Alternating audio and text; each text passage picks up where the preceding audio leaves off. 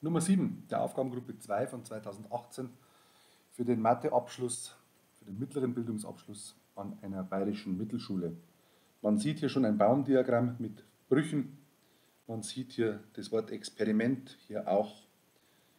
Es ist also eine Wahrscheinlichkeitsaufgabe, eine Stochastikaufgabe. Ganz oft muss man in der Prüfung so einen Baum zeichnen. Hier nicht, da hat man den Baum schon gezeichnet. Es gibt also in einem großen Behälter graue, weiße und schwarze Kugeln. Und die werden zweimal gezogen. Das ist das entsprechende Baumdiagramm. Ein paar Dinge fehlen. Was ist gefragt? 6a. Begründen Sie anhand des Baumdiagramms, dass es sich um ein Zufallsexperiment ohne Zurücklegen handelt. Man könnte ja die erste Kugel rausnehmen, sich die angucken, notieren, welche Farbe und die Kugel in den Pott zurückschmeißen. Dann wären allerdings auch beim zweiten Hineingreifen 50 Kugeln drin und es wäre im Nenner 50. Wenn also im Ast beim nächsten Schritt der Nenner kleiner wird, dann werden die Kugeln nicht zurückgelegt. Ich schreibe also als Begründungsmöglichkeit hin, der Nenner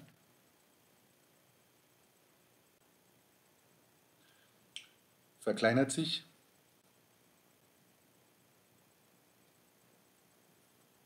von 50 auf 49. Also werden die Kugeln nicht zurückgelegt, denn hier greift jemand in einen Topf mit 49 Kugeln. 6b. Notieren Sie auf Ihrem Lösungsblatt die Nummer des Behälters, die zum dargestellten Baumdiagramm passt. So.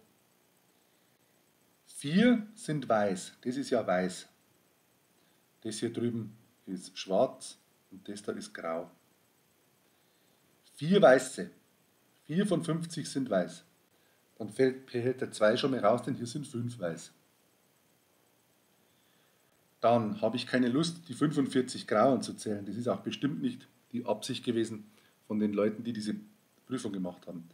Wenn 45 grau sind und 4 weiß, dann sind es miteinander schon 49 Kugeln, also ist nur eine von 50 schwarz.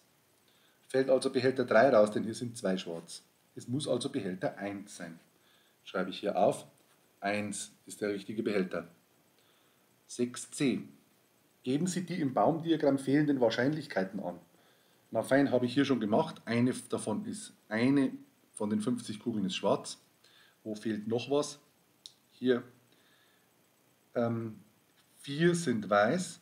Für den Fall, dass weiß gezogen wurde, ist immer noch eine schwarze drin, 45 graue aber eine weiße weniger, also muss hierher 3 49. 3, weil vorher waren es 4, eine wurde schon gezogen von den Weißen. In diesem Fall wurde eine von den 45 Grauen gezogen.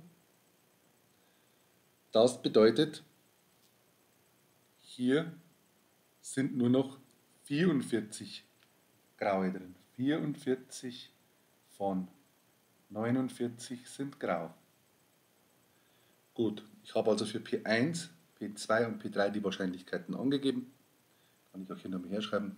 P1 ist 1 Fünfzigstel, P2 ist 44 49 und P3 sind 3 49 Gut.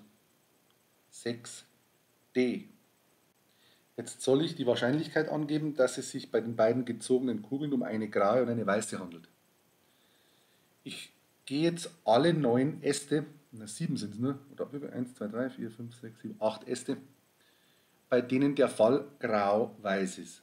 Grau und dann weiß. Das wäre 45 Fünfzigstel und 4 49. Entlang des Astes wird mal genommen. 45 Fünfzigstel mal grau-weiß, 4 49. Und dann gibt es natürlich noch den Fall, dass ich zuerst die weiße ziehe und dann die graue. Äste werden addiert. Das ist der Fall weiß-grau, also 4 50. Mal entlang des Astes mal nehmen, 45 49. Nun muss ich noch ein bisschen Bruch rechnen können. Brüche werden multipliziert, indem Nenner mal Nenner genommen wird und Zähler mal Zähler. dann habe ich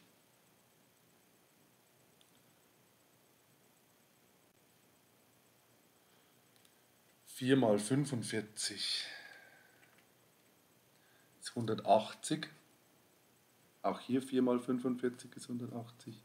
Und der, der Nenner ist 50 mal 49 ist 2450. Hier auch 2450. Brüche werden addiert, indem der gleichnamige Nenner gleich bleibt. Der ist bei uns gleichnamig, also 2450. Und es sind dann miteinander schon 360. Diesen Bruch kann ich einfacher darstellen, zum Beispiel kann ich durch 10 kürzen. Ähm, 36 245, wenn ich so stehen lasse, ist das in Ordnung. Ich könnte diese Wahrscheinlichkeit auch in Prozent angeben. Ich teile 36 geteilt durch 245. Da kommt raus 0,147 gerundet. Die zweite Stelle ist die Prozentstelle. Das wären also 14,7 Prozent.